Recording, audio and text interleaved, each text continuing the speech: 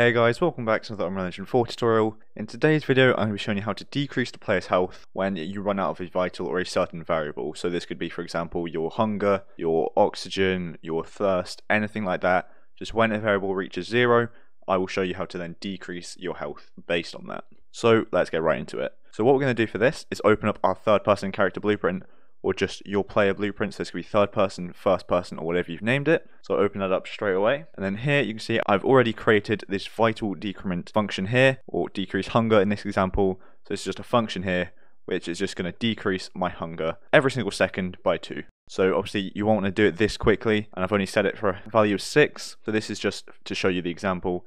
And then I'm also printing this to the screen so we can see the value of hunger we have. So I'll close that function and we'll get into it. So we're going to create two variables. One is called health, and we're going to change this to be an integer. And then we're going to create another variable, and we're going to call this damage. And this is also going to be an integer. So the two new variables we have are health and damage, both being integers. And we can change these default values to whatever we want. We change the health to 30 just for testing. Obviously, you might want to increase that a lot more for however you want it, but for testing, that's good for me the damage we're going to leave at zero. So you can compile that, and then what we're going to do is just over on the functions over the left here, we're going to hit plus function, and we're going to call this one decrease health, or deal damage, or something like that, just so you know what it is. And then because it's in a function, we can call this whenever we like. So it's decrease health. So what we want to do is just simply get our health variable, drag and drop that onto the executable to set our health like that. And we're going to get our damage as well. So drag that in and get come off the damage and get a minus, so an integer minus an integer, plug the return value into the set health there, actually put the damage in the bottom one for the minus and put health in the top like so. And that is all we need to do. So what this is doing is when this function is going to be called, it's going to decrease the health. So we get our health minus the amount of damage from our health and set that to be our new health. So that works perfectly. And you can also play a sound here as well if you want. So I'm going to do play sound, I'll do play sound 2D as I wanted it to just play everywhere for the player. So it play sound 2D, you can get whatever you like. Obviously you'll want an actual taking damage sound effect, but just for testing I'm going to use the camera shutter like so. So we compile and we can close that function there as that is that part done. Now what we want to do is if we want to take damage upon the hunger or something reaching zero, we obviously want to do this when our variable reaches zero. So our variable for hunger, oxygen, thirst, anything like that. So what you want to do is we want to open up our function or just wherever you have that code for decreasing that variable. So obviously mine is the function decrease hunger, and so it should probably look something like this for the one you have. You should come in, come into it, you should have a branch to see if that variable is less than or equal to zero, or greater than or equal to zero, see which way around you've done it, and then your code here.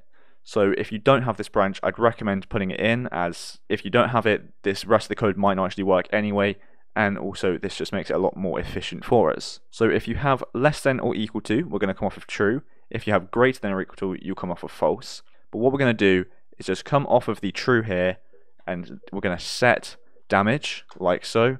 So set damage, and we're going to set this to whatever we want. So I think for when the player is dying of starvation, I want the damage to be set at 5. So every single time they lose damage, it's going to decrease the health by 5. And then we're going to come out of this and just call our function. So we can come out and call function decrease health like so. And so now if you open this up, you can see that what it's going to do is it's going to get the damage that we just set to 5 and decrease that from the health. So what it's going to do is, if we don't have enough hunger, it's going to set the damage to 5 and decrease that from our health. So now for me, this is going to do this every 1 second, Uh, as that's the delay I have here, or every 2 seconds, sorry. So if you want this to take even longer than your hunger decreasing normally, you can obviously do that by just putting in a delay here. Obviously, you can't do that in a function itself, so that way you would need to do this somewhere else by just doing the exact same thing. So getting a delay and then getting this branch and just doing this code here, like so. So the code that is currently selected is what you would do outside. So like I say, I'll show you that. So you can just then do that, meaning you can get a delay to put that in there and come off of event tick like that. So it's just another way of doing it, but this way it's just slightly more efficient. So again, that is literally it. What we're doing is setting our damage and then decreasing the health based upon that damage. And the good efficient way of doing this way means that if you also have an attack system, then you can set the damage to something higher. So if you have an enemy, you can then set the damage based upon that attack and then decrease the health. So it just means we can call this function wherever we like, and we can then use this loads and in loads of different ways. So we can compile and save that, and we should test to see if this is working. Well, actually, one thing is I'm going to actually put another print string in here, just so I can see what this looks like. So I'm going to do it the same way I did this. So I just put that in here, print string out of this. Obviously, I'm just going to format it slightly differently. I'm not going to put the hunger variable in here. I'm going to put the health variable that we have, like so, and then just put that in there like that. So now we compile, save, we can test this. So you can see in the top left, the hunger is going down from 6, 4, 2, 0, and now because of that it's gone to 0. Our hunger is going down, so it is decreasing, and you can hear the sound effect playing as it is decreasing. Now it's not actually displaying the variable number because I haven't actually plugged that in like that. But now it will decrease our health perfectly like so. So we can just see it up in the top left screen and it will be decreasing our health when our hunger reaches zero. But you'll be able to notice something a little bit odd or something not what we want. So when this reaches zero, it's just going to keep going down and nothing's going to happen. So I'll show you what to do after that. So you can see it's reached zero and it's going into minus five. So I'll show you what to do for that now. So if we go back into our decrease health function here, what I'm going to do is just after this sound effect, so I'll just move this down a little bit like so. So we're going to come out of our play sound here, I'm going to hold down B, left click and get a branch just to check to see what our health is. So if we get our health, so drag and drop get, and then get a less than or equal to integer, once again, and keep that as zero and plug that in as the condition for this branch, what we're going to do is just check to see if our health is greater than or less than zero. And if it is obviously less than zero or equal to zero, the play is going to be dead, so we want to fire off that code as well. So what I'm going to do just quickly get a print string, call this one dead, and this is just as I have no other visual representation at the moment.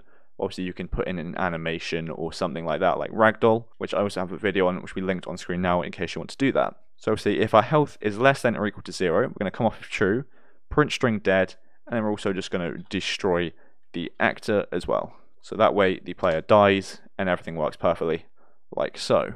Then we're also off of false, I'm just going to do that print string like that. So again, I have a video on Ragdoll and I also have one on dying and respawning. So if you want to respawn your character afterwards, you can do that as well. Now if we compile and save, we can see that once again, our hunger is going to be decreasing down to zero. And when it gets to zero, our player is going to start taking damage so it's going to go from 30 to 25 to 20 as we set it to decrease by 5 each time. It is playing this sound effect, which is what we want to happen. And then when it reaches 0, the player is going to die like so. It said dead, and our actor was destroyed as well. So now we can no longer play as the player is dead. And again, I have a video on respawning your character as well. But I think that'll be it for this video. So we've done everything we want to do. We've created it so that when our vital reaches a value of 0, our player's health will start decreasing like so and we can set the damage so we can choose the amount of damage we want to deal for each different function each different way of them taking damage. And then if their health reaches zero they will die. But if it doesn't then it will just happen again until their hunger or whatever gets above zero again. So again I'll show you what that looks like now. But like I say I think that'll be it for this video. So thanks so much for watching. I hope you enjoyed and I hope you found it helpful. And if you did make sure to like and subscribe down below. So thanks so much for watching, and I'll see you in the next one.